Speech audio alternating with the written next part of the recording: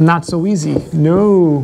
I was thinking like, no, it's gonna be, I just thought of a harder one. Here we go. Game over. Boom. I think this was on, this was on an old test. This, this exact one. It's ridiculous. So same thing, removable and non-removable. And take your time, so you show all the work. I'll give you a couple minutes to try it. I'm gonna like, yeah. Um, so the bottom should factor, right? So solution. So we have g of x equals x. What can we pull out in the bottom? An x, yeah. It makes it a little bit different. It makes it a little bit weird. This would have been a bad first example, at least in my opinion, because it's, not, it's a little bit trickier to find the hole. This cancels. So where is the hole in this case?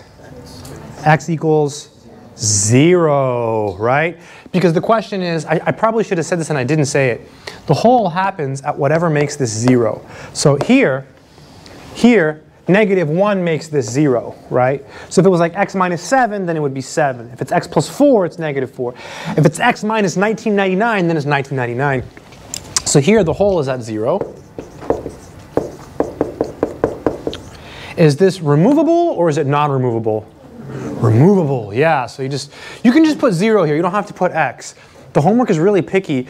Uh, in 1.5, you'll be finding vertical asymptotes. In that case, you do have to put x. In this case, it doesn't matter. I'm going to put it because it looks weird without it. So, And then this is a VA, right? x equals 1. Would this be removable or non-removable?